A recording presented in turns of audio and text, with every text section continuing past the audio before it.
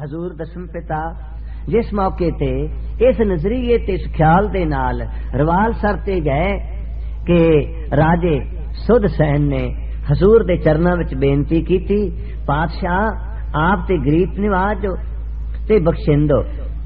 راجیاں دے گناہ معاف کر دیو۔ انہاں نے پہلا جو بدیکیاں کیتیاں نے، او کھما کر دیو۔ ایک موقع مینوں ضرور دیو۔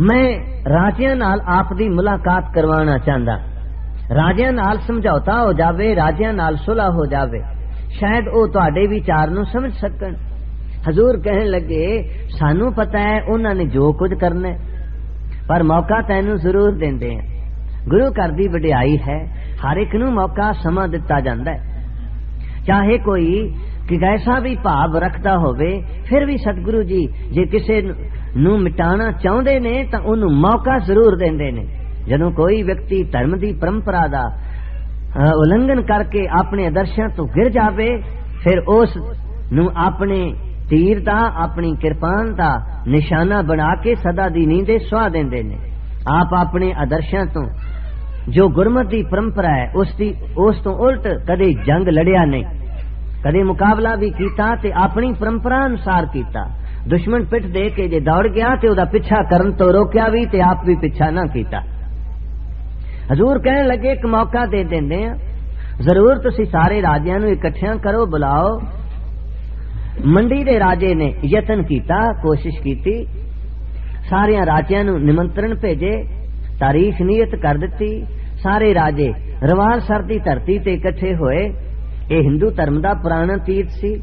ਇੱਥੇ ਸਭ ਲੋਕ ਇਕੱਠੇ ਹੋਏ। حضور دے نال گل بات ہوئی، ویچار ہوئی۔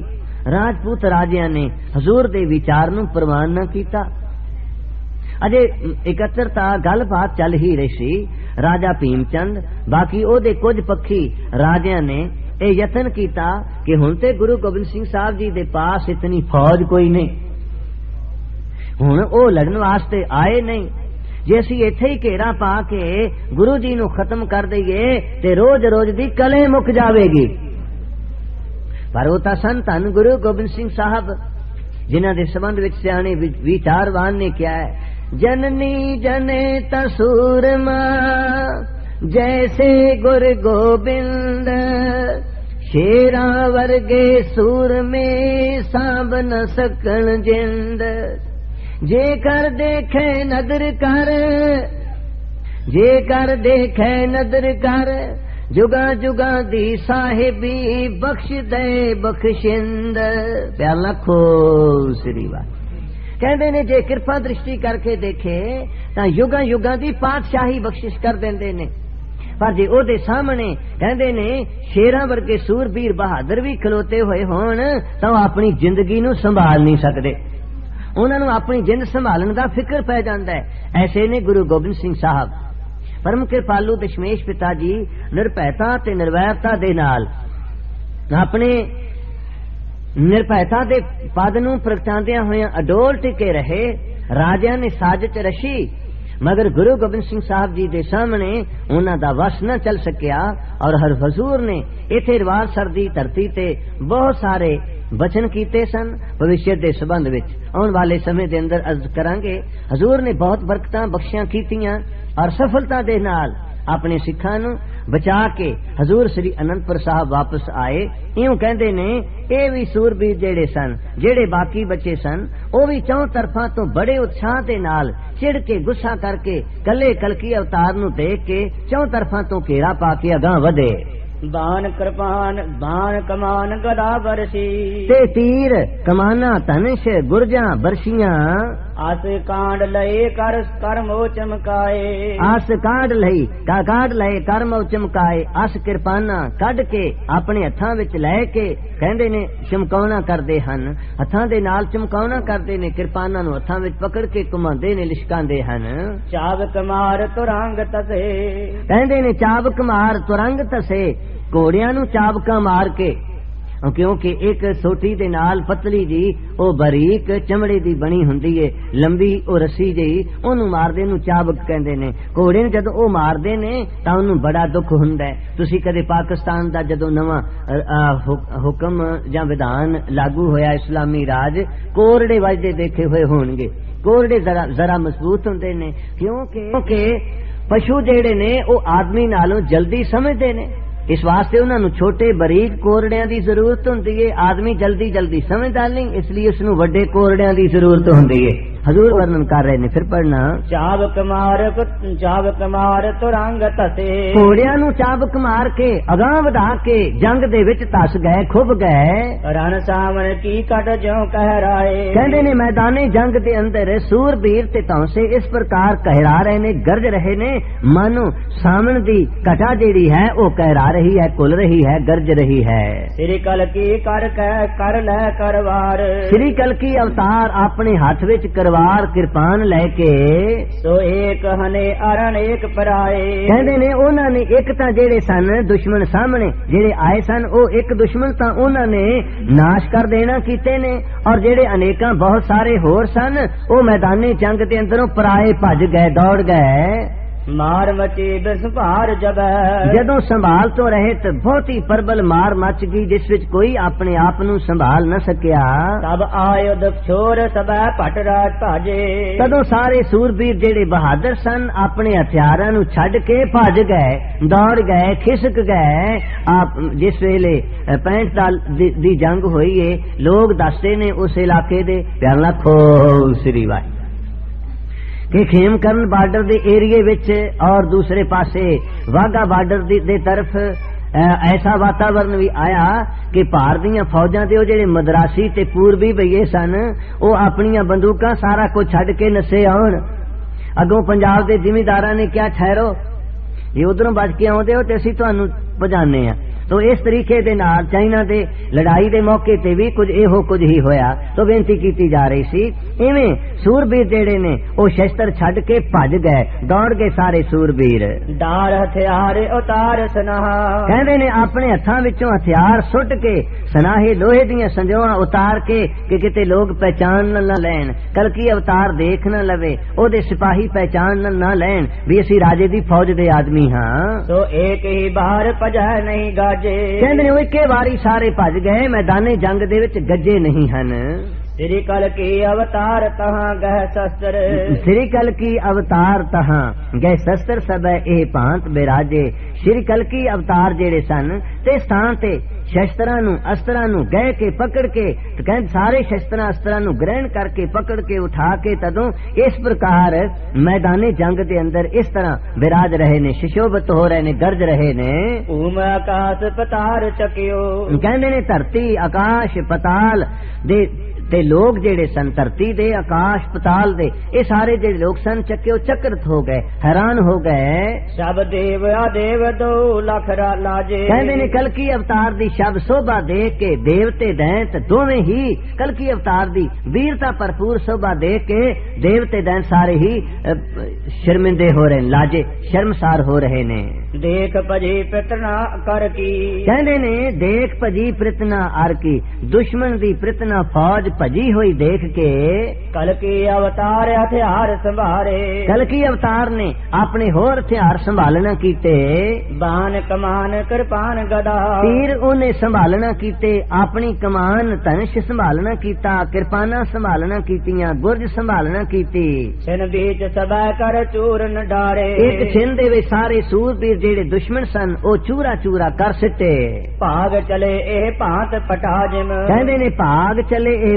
پانت پٹا۔ کہ اس طرح پانت طرح اس طرح۔ سوربیر جڑے سن او میدان جنگ نو چھڈ کے بھج چلے نے کس طرح جن پاون بہے درم پات نہارے کہنے جس پرکار ہوا دے تیز وگن تے نال ورکش دے پات پترے اڑ دے دیکھی دے نے نہارے دیکھی دے درم ورکش دا نام ہے جویں تیز ہوا چلے اندھیری آوے تے ورکش دے پترے جڑے اڑ دے دیکھی دے نے ایویں سنبل پور دے راجے دیاں فوجاں نسی جا رہی نے دوڑی جا رہی ہیں جیڑیاں غریب براہمناں نو پکڑ دیاں سن انہوں تے ظلم ستم کر دیا سن جہیا مندراں نو ٹان والیاں سن مسیطاں نو ٹان والیاں فوجا سن دارمک استاناں نو گران والیاں فوجا سن گو تے غریب دا قتل عام کرن والیاں سنبل پور دے راجے دیاں فوجاں سن کلکی اوتار دے سامنے او جویں ہوا تیز ہوا چلن دے نال ورکش تے پترے ٹٹ کے ڈگ دے نے اڈ دے نے ایویں سب اڈی جاندے نے دوڑی جا رہے نے۔ جی۔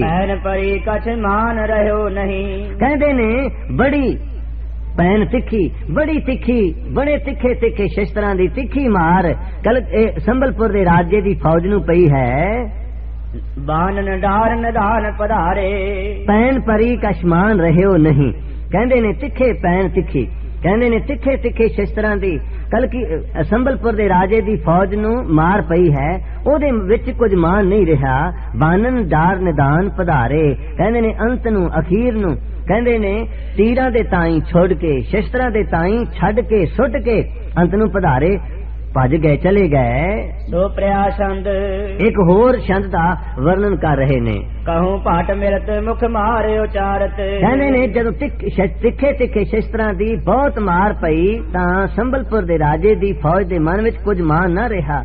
ਆਪਣੇ ਤੀਰਾਂ ਨੂੰ ਹਥਿਆਰਾਂ ਨੂੰ ਸੁੱਟ ਕੇ ਅੰਤ ਅਖੀਰ ਨੂੰ ਉਹ ਦੌੜ ਗਏ। ਸੁਪ੍ਰਿਆ ਛੰਦ ਇੱਕ ਛੰਦ ਦਾ ਨਾਮ ਹੈ ਕਹੂੰ ਪਟ ਮਿਲਤ ਮੁਖ ਮਾਰ ਉਚਾਰਤ। ਕਿਤੇ ਕਿਤੇ ਸ਼ੂਰਬੀਰ ਮਿਲਦੇ ਨੇ اور مکھ تو کہندے نے مار لو مار لو ایں اچار دے ہن کہوں پڈ پاج پکارت آرت کتے سور بیر پج کے آرت ادینتا نال پکار دے نے معاف کر دیو جی جان بخش دیو سانو معاف کر دیو کیت کجود فرت دا لگاہت کتنے سور بیر جڑے نے جو دے کتنے جو دے بہادر دشمن دے دلان دے تائیں گاؤں دے ہوئے دباؤں دے ہوئے ترے پھر دے ہن ਜੂਜ ਬਰੰਗਨ ਬਹਾਇਤ ਨਾ ਵਿਆਹਤ ਕਹਿੰਦੇ ਨੇ ਕਿਤਨੇ ਸੂਰਬੀਰ ਜੂਝ ਜਾਂਦੇ ਨੇ ਬਰੰਗਨ ਅਪਛਰਾ ਜਿਹੜੀਆਂ ਨੇ ਉਹ ਉਹਨਾਂ ਨਾਲ ਵਿਆਹ ਕਰ ਲੈਂਦੀਆਂ ਹਨ ਕਹੂੰ ਬਰ ਬੀਰ ਫਿਰਤ ਸਰ ਮਾਰਤ ਕਿਤੇ ਕਿਤੇ ਬਹਾਦਰ ਸੂਰਬੀਰ ਸ੍ਰੇਸ਼ਟ ਸੂਰਬੀਰ ਤੀਰ ਮਾਰਦੇ ਤੁਰੇ ਫਿਰਦੇ ਹਨ। ਕਹੂੰ ਰਣ ਸ਼ੋਰ ਭਜਤ ਪਟ ਆਰਤ। ਕਿਤੇ ਕਿਤੇ ਸੂਰਬੀਰ ਜੰਗ ਛੱਡ ਕੇ ਭੱਜ ਰਹੇ ਨੇ ਔਰ ਬੜੀ ਆਰਤਤਾ ਅਧੀਨਤਾ ਦੇ ਨਾਲ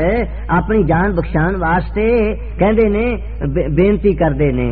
ਕੇ ਡਰ ਡਾਰ ਹਨ ਤਰਨ ਜੋਦਾ ਕਦ ਕਿਤਨੇ ਸੂਰਬੀਰ ਆਪਣੇ ਡਰ ਦੇ ਤਾਈ ਤਿਆਗ ਕੇ ਮੈਦਾਨੀ ਜੰਗ ਦੇ ਅੰਦਰ ਸੂਰਬੀਰਾਂ ਦੇ ਤਾਈ ਮਾਰ ਰਹੇ ਨੇ ਕੇ ਮੁਖ ਮਾਰ ਰਟਤ ਕਰ ਕ੍ਰੋਧਾ ਤੇ ਕਿਤਨੇ ਜਿਹੜੇ ਸੂਰਬੀਰ ਨੇ ਉਹ ਆਪਣੇ ਮੁਖ ਤੋਂ ਮਾਰ ਲਓ ਮਾਰ ਲਓ ਕਹਿੰਦੇ ਨੇ ਔਰ ਕ੍ਰੋਧ ਕਰਕੇ ਆਪਣੇ ਮੁਖ ਤੋਂ ਮਾਰ ਲਓ ਮਾਰ ਲਓ ਇਉਂ ਕਹਿ ਕੇ ਪੁਕਾਰਦੇ ਨੇ ਕੇ ਖਗ ਖੰਡ ਗਿਰ ਤਰਨ ਛਤਰੀ ਕਿਤਨੇ میدانے جنگ دے اندر گردے ہن۔ کتنے؟ سوربیر جڑے چھتری شستر تاری سوربیر چھتری نے انہوں دے کہندے نے کھنڈے، کرپانا میدانے جنگ وچ ڈگدے ہن۔ کیتک پاو چل تس اتری کتنے کہ جڑے اتری استر تاری شور بیر تیر انداز تیر چلاؤن والے نے او موت دی در تم ڈر کے جنگ نو چھڑ کے پاج چلے ہن کیتک نر پرم مچ مچا جد مچاوت کتنے جڑے نے پرم تو رہے تو کے نر پہ ہو کے جد مچا رہے نے آوت سیج دیوال پاوت آو آو ہے سیج دیوال پاوت کہندے نے او میدان جنگ دے اندر سیج سج کے جوج کے شہادت پراپت ਪ੍ਰਾਪਤ ਕਰਕੇ ਦਿਵਾਲੇ ਦੇਵ ਲੋਕ ਪ੍ਰਾਪਤ ਕਰਦੇ ਨੇ ਦਿਵਾਲੇ ਦਾ ਅਰਥ ਹੈ ਦੇਵ ਲੋਕ ਇੱਥੇ ਮੰਦ- ਉਂਝ ਆਮ ਤੌਰ ਤੇ ਦਿਵਾਲੇ ਦਾ ਅਰਥ ਦੇਵਤਿਆਂ ਦਾ ਮੰਦਿਰ ਹੋਵੇਗਾ ਪਰ ਇੱਥੇ ਦਿਵਾਲੇ ਦੇਵਤਿਆਂ ਦਾ ਘਰ ਸਵਰਗ ਸੂਰਬੀਰ ਜਿਹੜੇ ਨੇ ਕਿਤਨੇ ਸੂਰਬੀਰ ਸੀਜ ਕੇ ਸ਼ਹੀਦੀ ਪ੍ਰਾਪਤ ਕਰਕੇ ਜੂਝ ਕੇ ਆਉਂਦੇ ਨੇ ਔਰ ਦੇਵਤਿਆਂ ਦਾ ਘਰ ਦੇਵ ਲੋਕ ਸਵਰਗ ਪ੍ਰਾਪਤ ਕਰਦੇ ਨੇ ਵੈਕੁੰਠ ਪ੍ਰਾਪਤ ਕਰਦੇ ਹਨ ਕੇਤਕ ਜੂਜ ਮਰਤ ਰਣ ਮੰਡਲ ਕਿਤਨੇ ਸੂਰਬੀਰ ਮੈਦਾਨੇ ਜੰਗ ਦੇ ਥਾਂ ਤੇ ਜੂਝ ਕੇ ਮਰ ਜਾਂਦੇ ਹਨ ਕੇ ਭੇਦ ਚਲੇ ਬ੍ਰਹਮੰਡਲ ਕਿਤਨੇ ਕੁ ਸੂਰਬੀਰ ਜਿਹੜੇ ਨੇ ਉਹ ਬ੍ਰਹਮ ਲੋਕ ਦੇ ਤਾਈ ਵਿੰਨ ਕੇ ਬ੍ਰਹਮ ਲੋਕ ਤੋਂ ਵੀ ਅਗਾਹ ਚਲੇ ਗਏ ਕੇ ਇਕ ਆਨ ਪ੍ਰਹਾਰਤ ਸੰਗ ਕਿਤਨੇ ਕੁ ਲੋਕ ਮੈਦਾਨੇ ਜੰਗ ਵਿੱਚ ਆ ਕੇ ਸੰਗੇ ਬਰਸ਼ੀਆਂ ਮਾਰਦੇ ਹਨ ਕੇਤਕ ਭੰਗ ਗਿਰਤ ਹੋਆ ਆਂਗ ਕਹਿੰਦੇ ਨੇ ਕਿਤਨੇ ਕੁ ਸੂਰਬੀਰਾਂ ਦੇ ਅੰਗ ਭੰਗ ਜਾਂਦੇ ਨੇ ਅੰਗ ਹੈ ਅੰਗ ਕਿਤਨੇ ਕੁ ਸੂਰਬੀਰਾਂ ਦੇ ਅੰਗ ਭੱਜ ਜਾਂਦੇ ਨੇ ਟੁੱਟ ਜਾਂਦੇ ਨੇ اور پھر وہ بھی نال دھرتی دے اوپر ڈگ پیندے نے۔ اس طرح کل اوتار دے نال سنبل پور دا راجا جیڑا کلا رہ گیا ہے۔ ایویں اونوں ناش کرنا چاہندے نے جویں کوئی لکڑی کٹن والا ورکش شانگن والا، ایک ایک لکڑی او دی شانگدا ہے تے پھر اخیر تے اونوں پیڑ تو گراندا ہے۔ کل اوتار جی وی اس حساب دے نال، اس سنبل پور دے راجے نال یدھ کر رہے نے۔ انہاں وچاراں نال اج دا وچار سماپت ہے۔ تھوڑے منٹ پہلا اج اجازت لینا ہاں کیونکہ کچھ پیار والے نے سریمان سنت بابا ایشر سنگھ جی راڑا صاحب والوں سالانہ سماگم لے کے پروگرام بنایا سی۔ حاضری پڑھن واسطے وڈیا مہاپرشاں نال رتن سنت گانی گربچن سنگھ جی خالسا جی دے نال۔ شرمنی گردوارا پربندک کمیٹی والوں بدلے ہوئے منگلا چار دے۔ اس پیریڈ وچ انہوں نے بہت پیار، ساتھ، سہیوگ دیتا ਇਸ ਨਜ਼ਰੀਏ ਨਾਲ ਸਿਰਫ ਇਸ ਵਿਚਾਰ ਨੂੰ ਲੈ ਕੇ ਗੁਰੂ ਪਿਆਰਿਆਂ ਨੇ ਪ੍ਰੋਗਰਾਮ ਬਣਾਇਆ ਹੈ ਇਸ ਲਈ 5-7 ਮਿੰਟ ਕਿਉਂਕਿ ਕਾਫੀ ਦੂਰ ਜਾਣਾ ਹੈ ਆਪ ਤੋਂ ਖਿਮਾ ਵੀ ਚਾਹਾਂਗਾ ਔਰ ਇਜਾਜ਼ਤ ਵੀ ਚਾਹਾਂਗਾ ਆਸ ਹੈ ਆਪ ਖਿਮਾ ਬਖਸ਼ੋਗੇ ਸੰਤਾਂ ਵੱਲੋਂ ਕਥਾ ਦੇ ਸੰਬੰਧ ਵਿੱਚ ਗ੍ਰੰਥ ਸੇਵਾ ਆਈਏ ਸੱਚੇ ਪਾਤਸ਼ਾਹ ਸਰਬਾਦੀ ਕਾਲਨਾ ਥਾਏ ਪਾਣ ਵਿਚਾਰ ਕਰਦੇ ਆਂ ਗਿੱਤ ਪੁੱਲਾਂ ਚੁੱਕਾ ਹੋਈਆਂ ਹੋਣਗੀਆਂ ਆਪ ਨੇ ਖਿਮਾ ਬਖਸ਼ਿਸ਼ ਕਰਨੀ ਜੀ केतक जोज मर तरण मंडल केक भेद चले ब्रह्मंडल केक आन पर हाथ संग एक तक भंग कृत हुए अंग वाहिगुरु जी का फलसा वाहिगुरु जी की फलसा। श्री वाहिगुरु जी ਬਸੇਖ ਛੰਦ। ਪਾਜ ਬਿਨਾ ਫਟ ਲਾਜ ਸਬੈ, ਤਜ ਸਾਜ ਜਹਾਂ। ਪਾਜ ਬਿਨਾ ਫਟ ਲਾਜ ਸਬੈ, ਤਜ ਸਾਜ ਜਹਾਂ। ਨਾਚਿਤ ਭੂਤ ਪਿਸਾਚ, ਨਿਸਾਚਰ ਰਾਜ ਤਹਾਂ। देखत देव अदेव महारण को बरने जूझ पयो जे पांच सौ पार्थ सो करने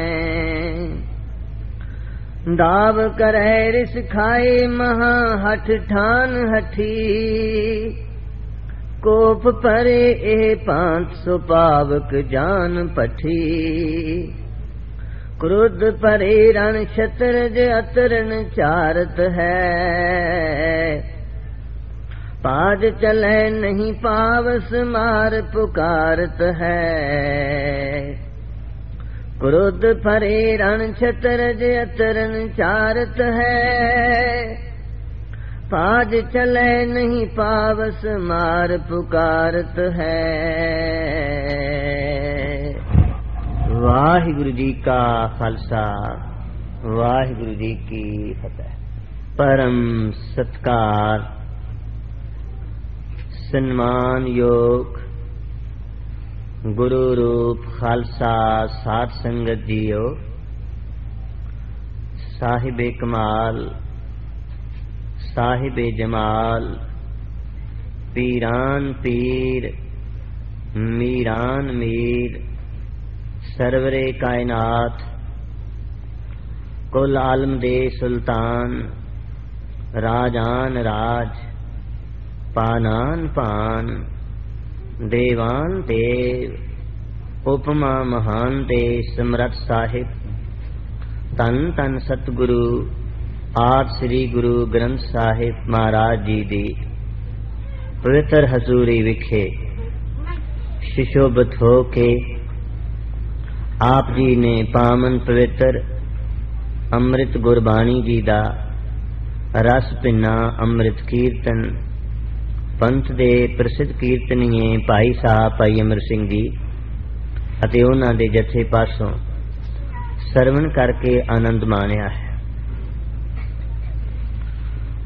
ਦਸਮ ਗ੍ਰੰਥ ਜੀ ਦੀ ਉਸ ਪਵਿੱਤਰ ਕਥਾ ਦਾ ਆਪ ਜੀ ਰੋਜ਼ਾਨਾ ਸਰਵਣ ਕਰਦੇ ਹੋ, ਜੋ ਹਜ਼ੂਰ ਨੇ ਅੱਜ ਤੋਂ 300 ਸਾਲ ਪਹਿਲਾਂ ਅਤੇ ਜਿਨ੍ਹਾਂ ਹਾਲਾਤਾਂ ਦੀ ਵਿਆਖਿਆ ਕੀਤੀ ਹੈ, ਉਹਨਾਂ ਤੋਂ ਕਿਤਨਾ ਸਮਾਂ ਪਹਿਲਾਂ ਇਹ ਪਵਿੱਤਰ ਬਾਣੀ, ਇਹ ਪਵਿੱਤਰ ਵਿਚਾਰ ਆਪ ਜੀ ਨੇ ਸੰਸਾਰ ਨੂੰ ਬਖਸ਼ਿਸ਼ ਕੀਤੇ ਹਨ। ਮੈਦਾਨੇ ਜੰਗ ਦੇ ਅੰਦਰ ਸ਼ਾਮਲ ਹੋਣ ਵਾਲੇ ਸੂਰਬੀਰ ਸ਼ਹਾਦਤਾਂ ਪ੍ਰਾਪਤ ਕਰਕੇ ਵੱਖਰੇ ਵੱਖਰੇ ਲੋਕਾਂ ਨੂੰ ਜਾਂਦੇ ਹਨ। ਸਰੀਰ ਦੇ ਤਿਆਗ ਦੇ ਮੌਕੇ ਤੇ ਜਦੋਂ ਅਸੀਂ ਸਰੀਰ ਤਿਆਗਦੇ ਹਾਂ ਵੱਖ-ਵੱਖ ਤਰੀਕਿਆਂ ਨਾਲ ਸਰੀਰ ਤਿਆਗਿਆ ਜਾਂਦਾ ਹੈ। ਤੇ ਜਿਸ ਜਿਸ ਤਰੀਕੇ ਨਾਲ ਇਹ ਸਰੀਰ ਛੁੱਟਦਾ ਹੈ, ਇਹ ਦੇਹ ਤਿਆਗੀ ਜਾਂਦੀ ਹੈ, ਉਸੇ ਤਰੀਕੇ ਨਾਲ ਧਰਮ ਗ੍ਰੰਥ ਮੰਨਦੇ ਹਨ। ਮਨੁੱਖ ਨੂੰ ਸੁੱਖ, ਦੁੱਖ ਤੇ ਬਾਕੀ ਦੇ ਜਨਮ ਪ੍ਰਾਪਤ ਹੁੰਦੇ ਹਨ। ਜਿਸ ਵਿਅਕਤੀ ਦੇ ਸਵਾਸ ਗਲੇ ਵਿੱਚੋਂ ਜੁਦਾ ਹੋਣ। ਮੁਖ ਦੁਆਰਾ ਸਵਾਸ ਨਿਕਲਣ, ਉਹਨੂੰ ਮਧਮ ਗਤੀ ਪ੍ਰਾਪਤ ਹੁੰਦੀ। ਹੋ ਸਕਦਾ ਹੈ ਉਹਨੂੰ ਦੁਬਾਰਾ ਜਨਮ ਪ੍ਰਾਪਤ ਹੋ ਜਾਵੇ ਤੇ ਦੁਨੀਆ ਤੇ ਆ ਕੇ ਉਹ ਕੋਈ ਚੰਗਾ ਕਰਮ ਕਰਕੇ, ਨੇਕੀ ਕਰਕੇ ਫਿਰ ਦੁਬਾਰਾ ਜਨਮ ਤੇ ਮਰਨ ਤੋਂ ਰਹਿਤ ਹੋ ਜਾਵੇ। ਪਰ ਇਸ ਦੇ ਨਾਲ ਜਿਨ੍ਹਾਂ ਲੋਕਾਂ ਦੇ ਸਵਾਸ, ਪੇਸ਼ਾਬ ਦੇ ਰਸਤੇ ਔਰ ਗੁਦਾ ਦੇ ਰਸਤੇ ਨਿਕਲਦੇ ਹਨ, ਉਹਨਾਂ ਲੋਕਾਂ ਨੂੰ ਸਰਪ ਵਿਛੂ ਅਜਿਹੀਆਂ ਨੀਚ ਜੂਨਾ ਪ੍ਰਾਪਤ ਹੁੰਦੀਆਂ ਹਨ। ਉਹਨਾਂ ਨੂੰ ਨੀਵੇਂ ਜਨਮ ਪ੍ਰਾਪਤ ਹੋਣਗੇ। ਜਨਮ ਤਾਂ ਮਿਲੇਗਾ ਉਹਨਾਂ ਨੂੰ ਵੀ, ਪਰ ਉਹਨਾਂ ਨੂੰ ਨੀਚ ਜਨਮ ਪ੍ਰਾਪਤ ਹੋਵੇਗਾ। ਜਿਵੇਂ ਸਰਪ ਦਾ ਜੀਵਨ ਹੈ, ਜਿਵੇਂ ਬਿਛੂ ਦਾ ਜੀਵਨ ਹੈ, ਜਿਵੇਂ ਸ਼ਿਵਕਲੀ ਜਾਂ ਪੰਜਾਬ ਦੇ ਲੋਕ ਕੋਹਰ ਕਿਰਲੀ ਕਹਿੰਦੇ ਨੇ। ਇਹਨਾਂ ਦਾ ਜੀਵਨ ਹਾਂ। ਇਸ ਤਰੀਕੇ ਨਾਲ ਸਰੀਰ ਤੋਂ ਸਵਾਸ ਜੁਦਾ ਹੋਣ, ਜਿਸ ਦੇ ਸੰਬੰਧ ਵਿੱਚ ਅਰਜ਼ ਕੀਤੀ ਹੈ ਤਾਂ ਇਹ ਜੂਨਾ ਪ੍ਰਾਪਤ ਹੁੰਦੀਆਂ ਇਹ ਜਨਮ ਪ੍ਰਾਪਤ ਹੁੰਦਾ ਹੈ। ਤੇ ਇਹ ਜਨਮ ਪ੍ਰਾਪਤ ਕਰਨ ਵਾਲੇ ਮਨੁੱਖਾਂ ਦੀ ਜਲਦੀ ਜਲਦੀ ਕਲਿਆਣ ਨਹੀਂ ਹੁੰਦੀ, ਮੁਕਤ ਨਹੀਂ ਹੁੰਦੀ। ਉਹ ਕਲਿਆਣ, ਮੋਕਸ਼ ਨਹੀਂ ਪ੍ਰਾਪਤ ਕਰਦੇ। ਦੂਸਰੇ ਪਾਸੇ ਜਿਨ੍ਹਾਂ ਲੋਕਾਂ ਦੇ ਸਵਾਸ ਪ੍ਰਾਣਾਯਾਮ ਦਾ ਅਭਿਆਸ ਕਰਦੇ ਆ ਯੋਗਾ ਅਭਿਆਸ ਦੀ ਕਮਾਈ ਕਰਦੇ ਆ ਦਸਮ ਦਵਾਰ ਦੁਆਰਾ ਬਾਹਰ ਨਿਕਲਦੇ ਨੇ।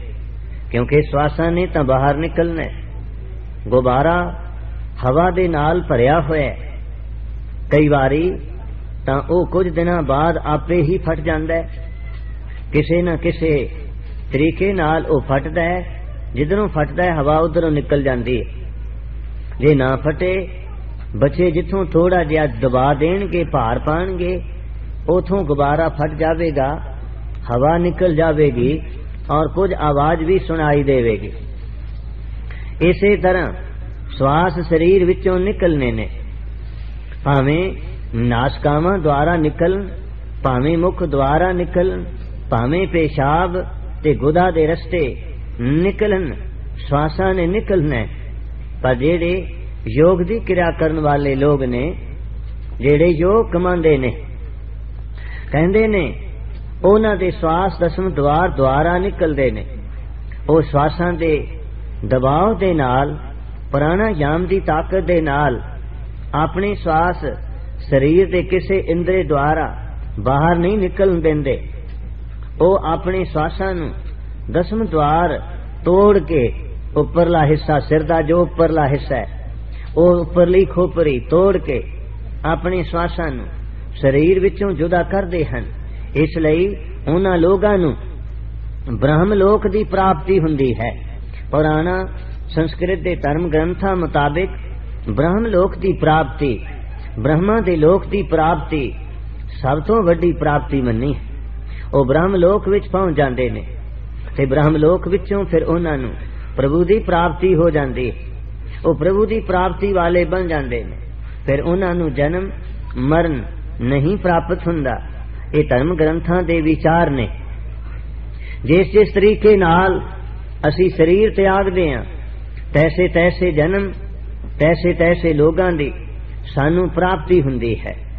ਪਰ ਦਸ਼ਮੇਸ਼ ਪਿਤਾ ਜੀ ਨੇ ਸੂਰਬੀਰਾਂ ਦੇ ਮਰਨ ਦੇ ਸੰਬੰਧ ਵਿੱਚ ਜੋ ਵਿਚਾਰ ਬਖਸ਼ਿਆ ਹੈ, ਇਸ ਬਾਣੀ ਅੰਦਰ ਵੀ ਆਪ ਨੇ ਨਿਰਣਾ ਕੀਤਾ ਹੈ ਤੇ ਦਰਸਾਇਆ ਮੈਦਾਨੀ ਜੰਗ ਦੇ ਅੰਦਰ ਜਿਹੜੇ ਸੂਰਬੀਰ ਜੁੱਧ ਜੁੱਧ ਦੇ ਜੁੱਧ ਕਰਦਿਆਂ ਹੋਇਆਂ ਜੂਝਦੇ ਨੇ, ਧਰਮ ਯੁੱਧ ਦੇ ਅੰਦਰ, ਮੈਦਾਨੇ ਜੰਗ ਦੇ ਅੰਦਰ, ਧਰਮ ਯੁੱਧ ਦਾ ਜਜ਼ਬਾ ਪ੍ਰਾਪਤ ਕਰਕੇ ਜਿਹੜੇ ਸੂਰਬੀਰ ਜੂਝਦੇ ਹਨ, ਉਹ ਲੋਕ ਪਹਿਲਾਂ ਸੂਰਜ ਮੰਡਲ ਤੱਕ ਪਹੁੰਚਦੇ ਨੇ।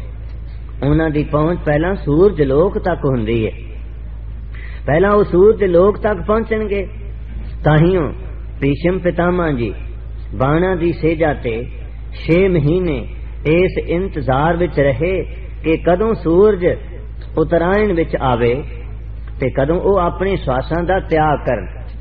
ਉਹ ਚਾਹੁੰਦੇ ਸਨ, ਸੂਰਜ ਆਪਣੀ ਗਤੀ ਆਪਣੇ ਹਿਸਾਬ ਨਾਲ ਜਦੋਂ ਤੱਕ ਉਤਰਾਇਣ ਵਿੱਚ ਨਹੀਂ ਆਵੇਗਾ, ਉਦੋਂ ਤੱਕ ਸ਼ਾਇਦ ਉਹਨਾਂ ਨੂੰ ਸੂਰਜ ਮੰਡਲ ਵਿੱਚ, ਸੂਰਜ ਦੇ ਲੋਕ ਵਿੱਚ ਪਹੁੰਚਣ ਵਿੱਚ ਕੁਝ ਮੁਸ਼ਕਲ ਆ ਸਕੇਗੀ।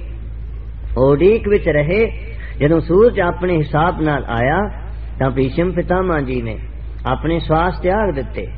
ਉਹ ਵੀ ਯੁੱਧ ਦੇ ਅੰਦਰ, ਕੁਰਕਸ਼ੇਤਰ ਦੀ ਧਰਤੀ ਅੰਦਰ, ਜਿਸ ਮੁਤਲਕ ਗੀਤਾ ਵਿੱਚ, ਮਹਾਭਾਰਤ ਵਿੱਚ ਬਹੁਤ ਕੁਝ ਵਰਣਨ ਕੀਤਾ ਗਿਆ ਹੈ। ਸਿੱਖੀ ਦਾ ਤੇ ਬੜਾ ਸਪਸ਼ਟ ਵਿਚਾਰ ਹੈ। ਸਿੱਖੀ ਦੀ ਵਿਚਾਰਧਾਰਾ ਬੜੀ ਸਾਫ਼ ਹੈ। ਸਾਰੀ ਧਰਤੀ ਨੂੰ ਇੱਕੋ ਜੀ ਧਰਤੀ ਦੇ ਨਾਲ ਸਤਕਾਰਿਆ ਗਿਆ ਹੈ। ਤਾਈਓ ਗੁਰੂ ਅਮਰਦਾਸ ਜੀ ਨੇ ਫਰਮਾਇਆ ਜਹੇ ਬੈਸਾ ਲਹੇ ਤਹ ਬੈਸਾ ਸੁਆਮੀ ਜਹੇ ਭੇਜੈ ਤਹ ਜਾਵਾ ਸਭ ਨਗਰੀ ਮਹਿ ਏਕੋ ਰਾਜਾ ਸਭੇ ਪਵਿੱਤ ਹੈ ਥਾਵਾ ਬਾਬਾ ਦੇਹ ਵਸਾ ਸਚ ਗਾਵਾ ਜਾਤੇ ਸਹਜੇ ਸਹਿਜ ਸਮਾਵਾ ਮਾਰੂ ਮਹੱਲਾ ਤੀਜਾ ਫਿਰ ਇਹ ਵੀ ਫਰਮਾਇਆ ਜੋ ਅਸੀਂ ਰੋਜ਼ਾਨਾ ਸ੍ਰੀ ਗੁਰੂ ਗ੍ਰੰਥ ਸਾਹਿਬ ਜੀ ਦੇ ਅਸਵਾਰਾ ਸਾਹਿਬ ਜਾਣ ਤੋਂ ਪੜ੍ਹਦੇ ਹਾਂ ਜਿੱਥੇ ਜਾਏ ਬਹਿ ਮੇਰਾ ਸਤਿਗੁਰੂ ਸੋ ਥਾਨ ਸੁਹਾਵਾ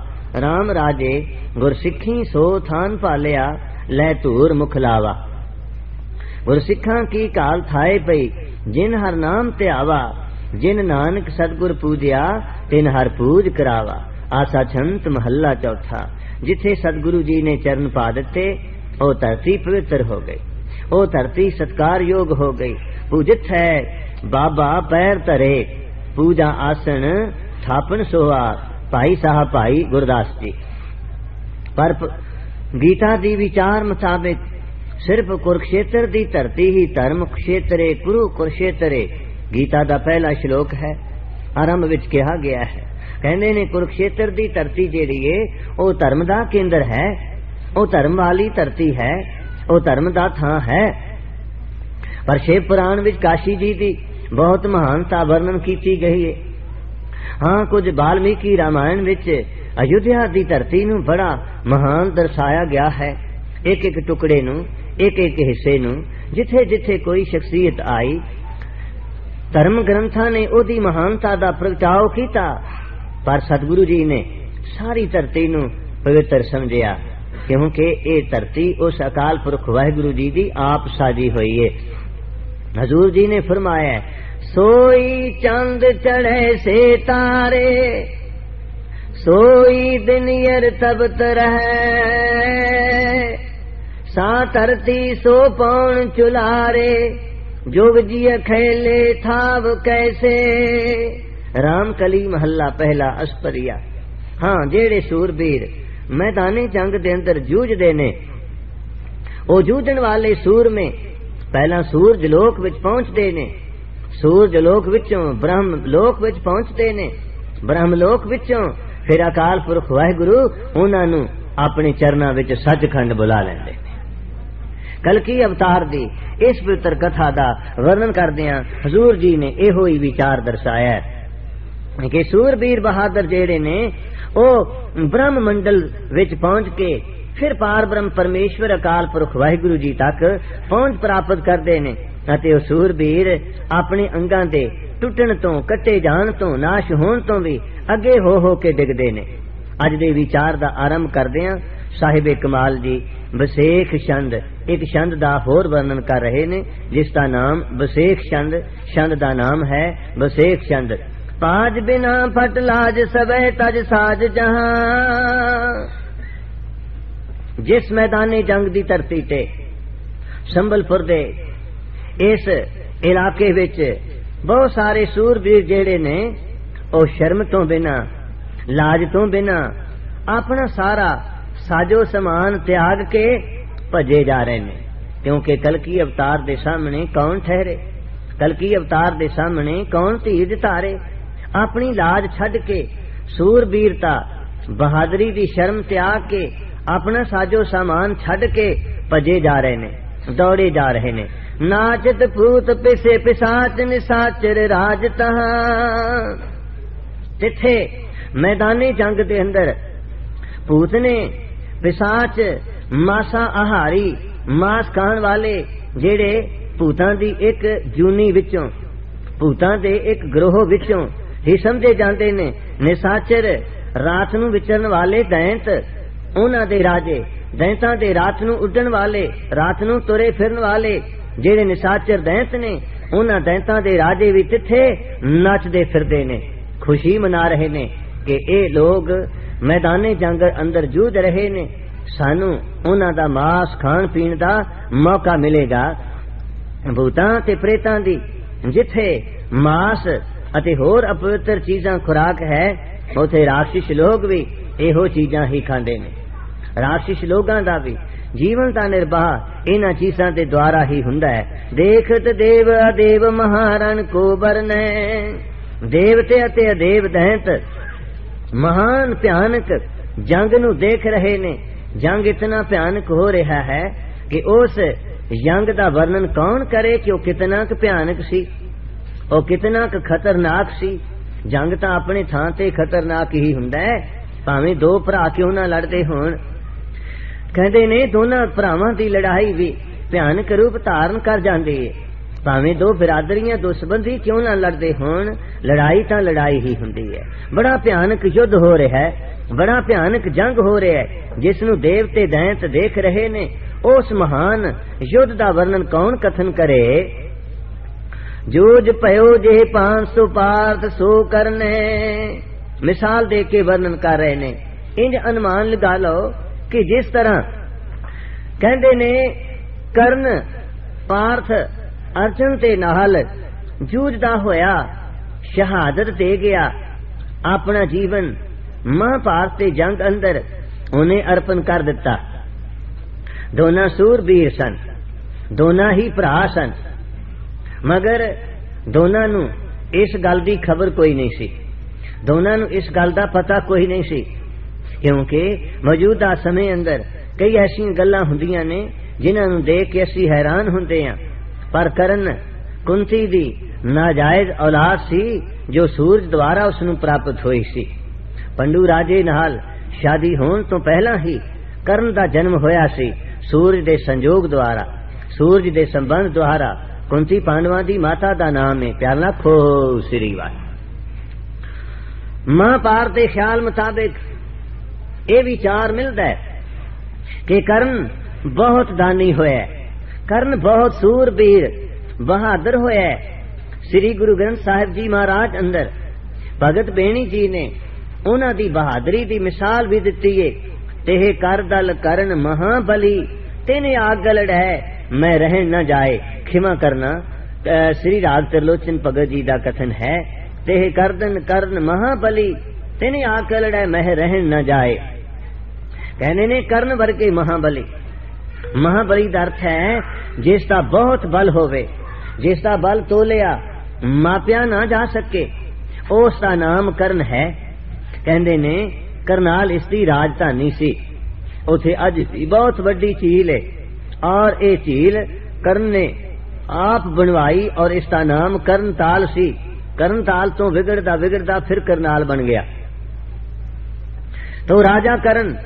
جتھے دانی سن، اوتھے بہت سوربیر سن۔ رشمیش پتا جی او دے یود دی، ارجن دی سور بیرتا دی۔ دونوں دی مثال دے رہے نے کہ جس طریقے نال ارجن دے نال کرن مہا پارت دے یود اندر جوج دیا ہویا جوج گیا۔ اسی ہی طرح کلکی اوتار دے نال سمبلپور دا راجا سارے بھارت دیاں فوجاں دے نال جوج دا ہویا، جوج رہے۔ ہے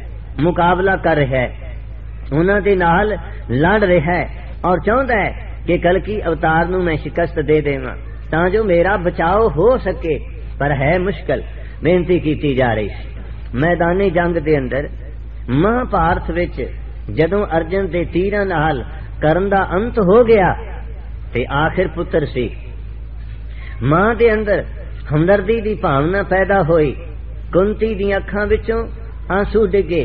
جدوں پترا نے پوچھیا، ماں جی کیوں رو رہے ہو؟ اسی دشمن دی فوج دا ایک وڈا سیناپتی مار مکا ہے، ختم کر دیتا ہے۔ تہاڈی اکھاں وچوں کیوں آنسو آئے نے؟ تا کہندے نے، کنتی، او کمزوری چھپا نہ سکی۔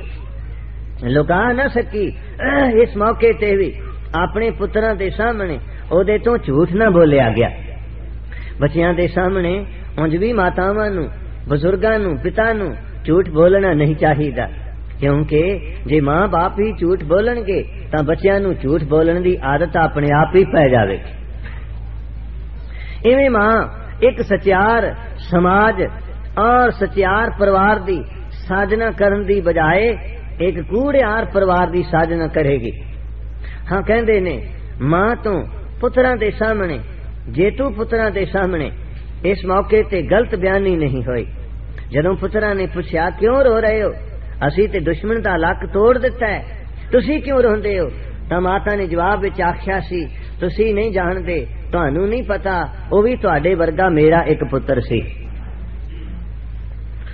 ਆਪਣੇ ਬਹਾਦਰ ਬੇਟੇ ਦੇ ਜਾਨ ਗਵਾਨ ਤੋਂ, ਦੁਨੀਆ ਤੋਂ ਤੁਰ ਜਾਣ ਤੋਂ ਮੇਰੀਆਂ ਅੱਖਾਂ ਵਿੱਚ ਆਂਸੂ ਆਣੇ ਸੁਭਾਵਕ ਹੀ ਸੀ। میں اپنی پتر دی ماں تے اپنی اکھاں وچوں آنسو ڈگے نے۔ اس موقع تے دھرم پتر یوتھشٹر جی نے اور ارجن نے بہت محسوس کیتا۔ ماں دے نال ناراض بھی ہوئے، کہن لگے، اے ماں، کتنا چنگا ہوندا۔ جے جنگ شروع ہون تا ہون تو پہلا یہ گل دس دیندی کہ کرن تہاڈا بھرا ہے۔ پہلا کیوں نہیں دسیا؟ سانو پہلا خبر کیوں نہیں دتی؟ اسی پہلا ਆਪਣੇ ਭਰਾ ਨੂੰ ਆਪਣੇ ਨਾਲ ਰਲਾਉਣ ਵਿੱਚ ਸਫਲ ਹੋ ਜਾਂਦੇ। ਪਰ ਤੂੰ ਉਸ ਮੌਕੇ ਤੇ ਸਾਨੂੰ ਇਹ ਖਬਰ ਦਿੱਤੀ ਏ, ਜਿਸ ਮੌਕੇ ਤੇ ਉਹ ਸਾਡੇ ਹੀ ਤੀਰਾਂ ਦਾ ਨਿਸ਼ਾਨਾ ਬਣ ਚੁੱਕਾ ਹੈ। ਪਰ ਹੁਣ ਅਫਸੋਸ ਕਰਨ ਦੇ ਨਾਲ ਕੁਝ ਬਣ ਤਾਂ ਸਕਦਾ ਨਹੀਂ ਸੀ। ਕਰਨ ਵਾਪਸ ਨਹੀਂ ਸਨ ਆ ਸਕਦੇ। ਉਹਨਾਂ ਨੂੰ ਦੁਬਾਰਾ ਜੀਵਨ ਨਹੀਂ ਸੀ ਪ੍ਰਾਪਤ ਹੋ ਸਕਦਾ, ਕਿਉਂਕਿ ਜਿਹੜੇ ਲੋਕ ਚਲੇ ਜਾਂਦੇ ਨੇ, ਫਿਰ ਉਹ ਕਦੇ ਵਾਪਸ ਨਹੀਂ ਆਉਂਦੇ। ਭਾਵੇਂ ਕੋਈ ਵੀ ਚਲਿਆ ਜਾਵੇ اس رنگ اس روپ وچ کدے منکھ کوئی واپس نہیں آیا۔ تائیوں، شیخ فرید جی نے مثال دے کے کہا ہے ددا تھنی نہ آ بئی پھر ہوئے نہ میلا۔ سوہی شیخ فرید جی جیڑا دودھ گو دے استنا وچوں چویا گیا، بکری یا مجھ دے استنا وچوں چویا گیا، پھر اس روپ وچ واپس نہیں جا سکے گا، جیڑا منکھ اس دنیا تو تر گیا۔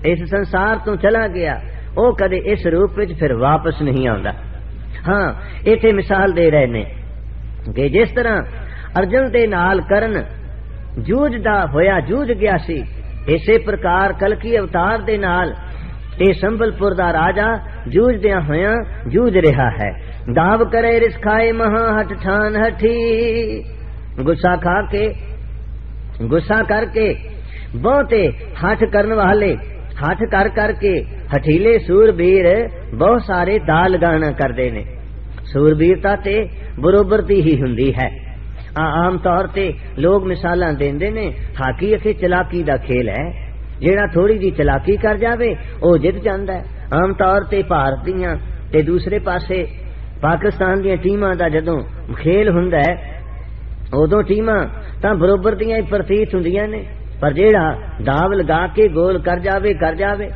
ہنج تے اسدار اجیت پال سنگھ نے یہ گل ہندوستان دی ٹیم دی سلیکشن کمیٹی نو کہی سی کہ ایک پاسے سارے بھارت دی ٹیم ہووے، ایک پاسے سنسار پر میرے پنڈ دی ٹیم ہووے۔ آؤ دونوں دا کھیل کر کے دیکھ لیے، میچ کر کے دیکھ لیے۔ جیتا تاں تہاڈی ٹیم میرے پنڈ دی میری ٹیم نو جت لوے، تے پھر جو کچھ تاری مرضی ہوے کر لینا ورنہ میری مرضی مطابق پلیئراں دی چون کریا کرو خیر یہ تو کھڈاری لوگ جانن پیالا کھو سری وا اسی تے پنجابیاں دی کھیل ہون کارن اس نو پیار کردے ہاں اور سوچدے ہاں وچاردے ہاں پنجابیاں دی اے کھیل انہاں گوریاں نے انگریزاں نے تھوڑی جی ترتیب دے کے تھوڑی جی تبدیلی کر کے سنسار دی پرسد کھیل بنا دیتی بےنتی کر رہا سا کہ کہندے نے چلاکی دا کھیل ہے۔ آ جڑا اج کل بہت کھیل ہوندا کتنے کتنے دنوں تک لوگ دیکھدے رہتے نے کرکٹ۔ کہ یہ چانس دی گیم ہے۔ کسے دا چانس لگ گیا تا گل بن گئی۔ جی نہ لگا تا گل بات با نہ بنی۔ فٹ بال کہندے نے بس اندھا تند کھڈاریاں دی کھیل ہے جڑے بہتے تاکڑ ہون جڑے بہتے دوڑن والے تے بل والے ہون تکے جڑے زیادہ مار جان، وہ گول کر جاندے نے۔ ਇਉਂ ਬਰੋਬਰ ਦੀ ਬਾਤ ਹੈ, ਇੱਥੇ ਵੀ ਸੂਰਬੀਰ ਜਿਹੜੇ ਨੇ ਬਰੋਬਰ ਦੇ ਹਨ। ਦੋਨਾਂ ਦੇ ਦੋ ਦੋ ਹੱਥ ਨੇ, ਦੋ ਦੋ ਅੱਖਾਂ ਨੇ, ਦੋ ਦੋ ਪੈਰ ਨੇ, ਪਰ ਬਹੁਤਾ ਹੱਥ ਕਰਨ ਵਾਲੇ ਜਿਹੜੇ ਹੱਠੀ ਸੂਰਬੀਰ ਨੇ, ਬਹੁਤਾ ਹੱਠ ਕਰਕੇ ਗੁੱਸਾ ਖਾ ਕੇ ਬਹੁਤੇ ਦਾ ਲਗਾਉਣਾ ਕਰਦੇ ਨੇ। ਕਿਉਂਕਿ ਦਾ ਲਗਾਉਣ ਤੇ ਨਾਲ ਹੀ ਤਾਂ ਕਿਸੇ ਦੀ ਗਰਦਨ ਤੇ ਵਾਰ ਕੀਤਾ ਜਾ ਸਕਦਾ ਹੈ। کسی دی چھاتی وچ گولی دا فائر کیتا جا سکتا ہے جے داو نہ لگائیے تے برابر دے آدمی ایک دوسرے تو کھا کے وار تو بنا وار نہیں لگن دیندے اور مقابلہ برابر تے رہندا ہے اس واسطے بہتے دا پیچ لگاونا کردے نے لڑائی وچ بھی بہت سارے دا ہیں لڑائی وچ بھی بہت سارے پیچ ਲੜਾਈ ਵਿੱਚ ਵੀ ਇੱਕ ਦੂਸਰੇ ਨੂੰ ਧੋਖੇ ਤੇ ਧੋਖਾ ਦਿੱਤਾ ਜਾਂਦਾ ਹੈ। ਹਜ਼ੂਰ ਵਰਣਨ ਕਰ ਰਹੇ ਨੇ, ਇਸ ਦੇ ਨਾਲ ਨਾਲ ਕੋਪ ਭਰੇ ਏ ਪਾਂਤ ਸੁਪਾਵਸ ਕੋਪ ਭਰੇ ਏ ਪਾਂਤ ਸੁਪਾਵਕ ਜਾਨ ਪਠੀ ਗੁੱਸੇ ਵਿੱਚ ਇਸ ਤਰੀਕੇ ਨਾਲ ਭਰੇ ਹੋਏ ਨੇ ਉਹ ਸੂਰਬੀਰ, ਮਨ ਪਠੀ ਦੇ ਵਿੱਚ ਜਿਵੇਂ ਅੱਗ ਬਲ ਰਹੀ ਹੋਵੇ, ਜਾਣੋ ਇਸ ਤਰੀਕੇ ਨਾਲ ਸੂਰਬੀਰ ਜਿਹੜੇ ਨੇ ਉਹ ਪੱਠੀਆਂ ਵਾਂਗ ਨੇ। ਉਹਨਾਂ ਵਿੱਚ ਜਿਹੜਾ ਗੁੱਸਾ ਭਰਿਆ ਹੋਇਆ ਹੈ, ਉਹ ਪੱਠਾਂ ਵਿੱਚ ਜਿਵੇਂ ਅੱਗ ਬਲਦੀ ਏ ਐਵੇਂ ਗੁੱਸਾ ਅੱਗ ਦੇ ਵਾਂਗ ਪਖ ਰਿਹਾ ਹੈ, ਬਲ ਰਿਹਾ ਹੈ। ਕ੍ਰੋਧ ਪਰੇ ਰਣ ਛਤਰਜ ਅਤਰਨ ਝਾਰਤ ਹੈ। ਗੁੱਸੇ ਵਿੱਚ ਭਰੇ ਹੋਏ ਮੈਦਾਨੀ ਜੰਗ ਦੇ ਅੰਦਰ, ਗੁੱਸੇ ਵਿੱਚ ਭਰੇ ਹੋਏ ਛਤਰਜ, ਜਿਵੇਂ ਕਈ ਕਈ ਵਾਰੀ ਭੈਣਾਂ ਤੇ ਭਰਾਵਾਂ ਦੇ ਸਬੰਧ ਵਿੱਚ ਕਿਹਾ ਜਾਂਦਾ ਹੈ, ਬਈ ਮੇਰੇ ਮਾਂ ਪਿਓ ਜਾਏ, ਭੈਣਾਂ ਭਰਾਵਾਂ ਨੂੰ ਮਾਂ ਪਿਓ ਜਾਏ ਕਹਿੰਦੀਆਂ ਨੇ। ਤੇ ਕਈ ਵਾਰੀ ਭਰਾ ਵੀ ਆਪਣੀਆਂ ਭੈਣਾਂ ਨੂੰ ਮਾਂ ਪਿਓ ਜਾਈਆਂ ਦੇ ਨਾਮ ਨਾਲ ਮੁਖਾਤਬ ਕਰਦੇ ਨੇ। ਔਰ ਉਹਨਾਂ ਦੀ ਵੀ ਤਮੰਨਾ ਹੁੰਦੀ ਏ, ਭਾਵਨਾ ਹੁੰਦੀ ਏ, ਵਿਚਾਰ ਹੁੰਦਾ ਹੈ ਬੇਨਤੀ ਕਰ ਰਿਹਾ ਸਾਂ, ਕਹਿੰਦੇ ਨੇ, ਛਤਰਜ ਛਤਰੀਆਂ ਦੇ ਜਾਏ, ਛਤਰੀਆਂ ਦੇ ਪੁੱਤਰ, ਛਤਰੀਆਂ ਦੇ ਬੇਟੇ, ਜੋ ਛਤਰੀਆਂ ਤੋਂ ਪੈਦਾ ਹੋਏ ਨੇ। ਛਤਰੀਅਤਾ ਛਤਰੀਆਂ ਨੂੰ ਪ੍ਰਾਪਤ ਸੀ। ਬ੍ਰਾਹਮਣ ਸਿਰਫ ਵਿਦਿਆ ਦਾ ਅਭਿਆਸ ਕਰਦੇ ਸਨ। ਵਿਦਿਆ ਦੀ ਚਲਾਕੀ ਦੇ ਨਾਲ ਉਹ ਯੁਗਾਂ ਯੁਗਾਂ ਤੋਂ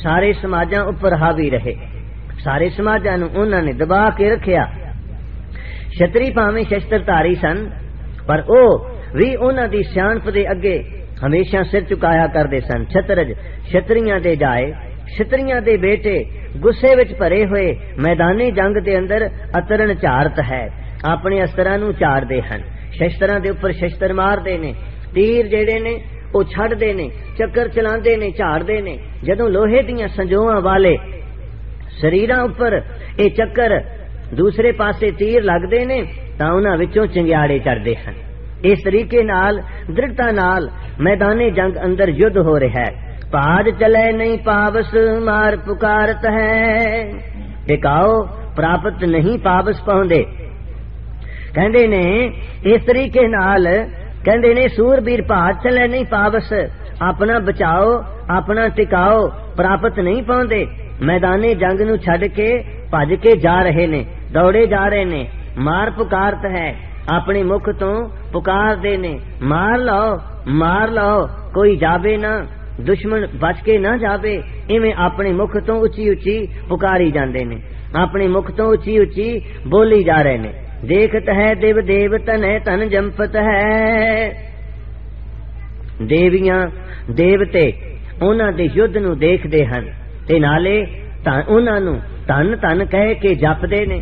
ਸੂਰਬੀਰਾਂ ਨੂੰ ਧਨ ਕਹਿੰਦੇ ਨੇ। ਸੂਰਬੀਰਾਂ ਨੂੰ ਧਨ ਕਹਿੰਦੇ ਨੇ ਕਿਉਂਕਿ ਸੰਸਾਰ ਦੇ ਅੰਦਰ ਦੋ ਕਿਸਮਾਂ ਦੇ ਲੋਕਾਂ ਨੂੰ ਹੀ ਧਨ ਧਨ ਕਿਹਾ ਜਾਂਦਾ ਹੈ। ਇੱਕ ਤਾਂ ਉਹ ਲੋਕ ਨੇ ਜਿਹੜੇ ਦਾਨ ਕਰਦੇ ਨੇ। ਉਹਨਾਂ ਨੂੰ ਵੀ ਲੋਕ ਧਨ ਧਨ ਕਹਿੰਦੇ ਨੇ। ਧਨ ਤਾਂ ਸਭ ਲੋਕ ਕਮਾਉਂਦੇ ਨੇ। ਹਰ ਆਦਮੀ ਧਨ ਦਾ ਪਿੱਛਾ ਕਰਦਾ ਹੈ। ਅਸੀਂ ਲੋਕ ਵੀ ਧਨ ਦੇ ਪਿੱਛੇ ਦੌੜਦੇ ਹਾਂ। ਧਨ ਦੇ ਤਰਫ ਸਭਨਾ ਦੀ ਦੌੜ ਹੈ। ਹਾਂ ਅਣਗਿਣਤ ਲੋਕ ਧਨ ਕਮਾਉਂਦੇ ਨੇ, ਪਰ ਉਹਨਾਂ ਵਿੱਚੋਂ ਬਹੁਤ ਥੋੜੇ ਲੋਕ ਨੇ ਜਿਹੜੇ ਧਰਮ ਦੇ ਲੇਖੇ, ਗੁਰੂ ਦੀ ਸੇਵਾ ਵਿੱਚ ਜਾਂ ਕਮਜ਼ੋਰ ਲੋਕਾਂ ਦੀ ਸੇਵਾ ਨੂੰ ਗੁਰੂ ਦੀ ਸੇਵਾ ਸਮਝ ਕੇ ਖਰਚ ਕਰਦੇ ਹਨ। ਦੂਸਰੇ ਪਾਸੇ ਬਹੁਤੇ ਉਹ ਲੋਕ ਨੇ ਜਿਹੜੇ ਕੰਜੂਸ ਤੇ ਨਾਲੇ ਮੱਖੀ ਚੂਸ ਹੁੰਦੇ ਨੇ। ਪਿਆਲਾ ਖੋ ਸ੍ਰੀ ਵਾਹਿ। ਪੰਥ ਰਤਨ ਸੰਤ ਗਿਆਨੀ ਗੁਰਬਚਨ ਸਿੰਘ ਸਾਹਿਬ ਜੀ ਕਈ ਵਾਰੀ ਸੂਮਾ ਦੇ ਸਬੰਧ ਵਿੱਚ ਮਿਸਾਲਾਂ ਦਿਆ ਕਰਦੇ ਸਨ। ਕੁਝ ਕੰਜੂਸ ਐਸੇ ਲੋਕ ਵੀ ਹੁੰਦੇ ਨੇ ਜਿਹੜੇ ਇਸ ਤਰੀਕੇ ਦੇ ਨਾਲ ਵੀ ਆਪਣੇ ਜੀਵਨ ਦੇ ਅੰਦਰ ਵਰਤਦੇ ਨੇ। ਨਾ ਆਪਣੇ ਆਪ ਵਾਸਤੇ ਖਰਚ ਕਰ ਸਕਦੇ ਨੇ ਨਾ ਸਮਾਜ ਵਾਸਤੇ ਖਰਚ ਕਰ ਸਕਦੇ ਨੇ। نہ اپنے بچیاں بچیاں واسطے خرچ سکتے نے۔ جہے اپنے لیے نہ خرچ کر سکن انہوں نے دوسرے واسطے پلا کی خرچ کرنا۔